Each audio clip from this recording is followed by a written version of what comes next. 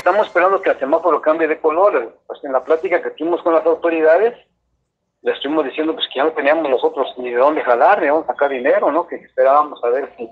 la posibilidad si de, ver algo, no sé, la mejor ayuda para nosotros sería abrir, pero también si abrimos ahorita cuando el semáforo en rojo, pues está más complicado, no se complican más las cosas. Todos estamos desesperados y este y, el problema es de que cuando vas a abrir eh, probablemente ya no tengas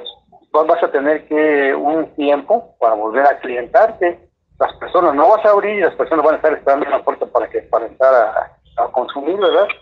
van a tener que pasar unos días todavía